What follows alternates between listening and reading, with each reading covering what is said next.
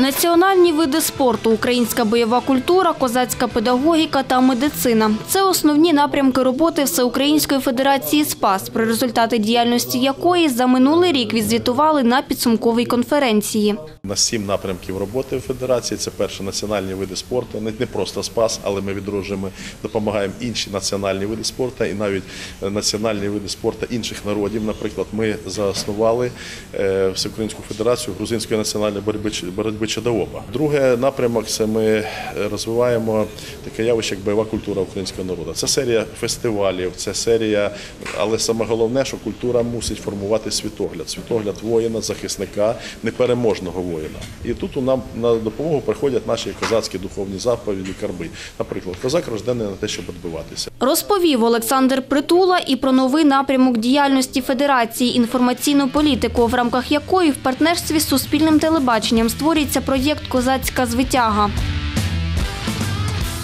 Думна скеля височіє над лівим берегом Дніпра на острові Хортиця. За легендою, запорозькі козаки збиралися тут, щоб обміркувати свої майбутні походи, військові операції або просто подумати про життя. На збори запросили представників Федерації з 12 регіонів України. На Дніпропетровщині цей рік був дуже для нас знаковим.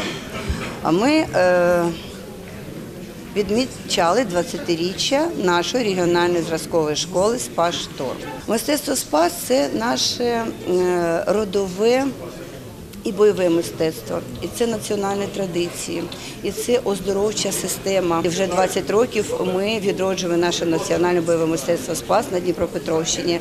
Ми проводимо наші змагання з національного рукопишу «Спас», боротьби на фрест, е, Котигорошко.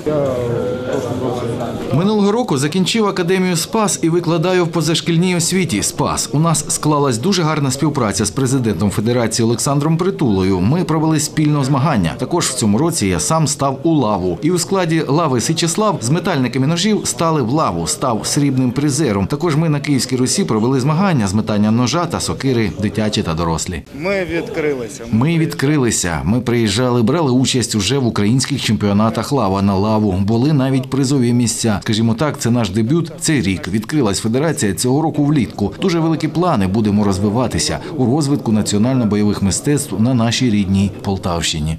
У планах роботи Федерації на цей рік, за словами Олександра Притули, подання бойової культури звичай Спасу як нематеріальної культурної спадщини України під захист ЮНЕСКО. Анастасія Шевченко, Вадим Тимченко. Новини на Суспільному. Запоріжжя.